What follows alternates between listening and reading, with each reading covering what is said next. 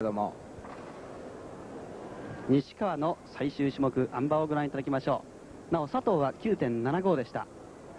5人目の西川です。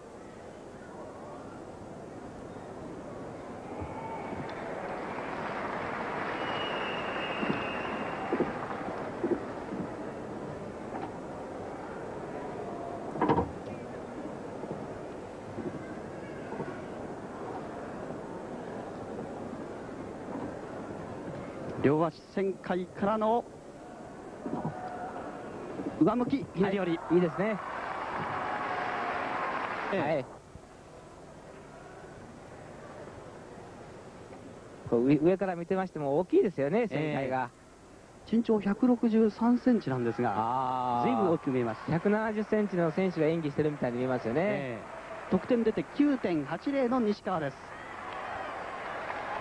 5人の中で最高やりますね。本当そうですね。